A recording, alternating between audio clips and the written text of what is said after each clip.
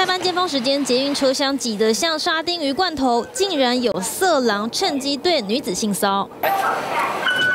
嫌犯 B 卡进站不是为了通勤，而是到大型的转乘站，像是大安站，随机找被害女性下手，待了整整一个小时才离开。被害人当时下班回家，在文湖线的车厢内，用眼角余光瞄到身旁一名男子，左手往大腿靠近，连续动手三次。在大安站，嫌犯下车跑了，女子也报案提告。七十一岁赖姓嫌犯当天从建潭站上车，犯案后一路转乘，在捷运站内大逃亡，最后搭回士林站下车。法官认为他在站内待一个小时，还挑选人潮拥挤的时刻，是专程犯案，判他性骚罪三个月。